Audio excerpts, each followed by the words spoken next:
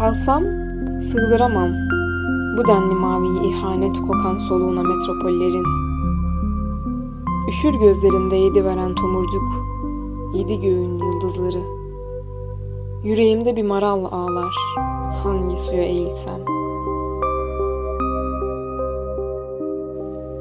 Ellerimin dikiş tutmazlığı, ellerine teellenmişken bağlıydım hayata. Ama şimdi çözüldüm her anlamda.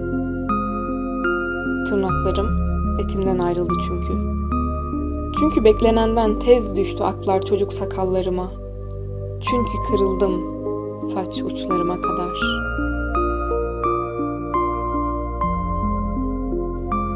Ve Haziran gibiydi çocuklar yakmayan sıcaklarıyla. Yüzlerinde yüzlerce iklim, alabildiğine savunmasız, ürkek ve masum. Ve böyle temizken hayat, ne büyük günah işledik büyümekle. Hani diyorum ya, umuda gülümse hep, aç gözlerini. Yosun tutmuşsa da zaman, aldırma. Sen çoktan kapamışsın gözlerini. Yüzünde buruk bir gülümseyişi hediye bırakarak. Artık çıkarım bulanık köpüklü dalgalardan. Ağlamam bu sefer, inan.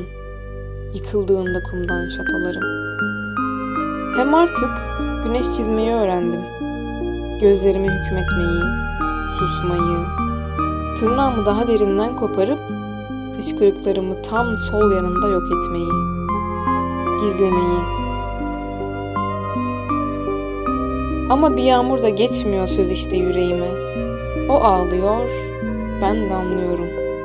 Bakma, büyümüş gibi yapıyorum.''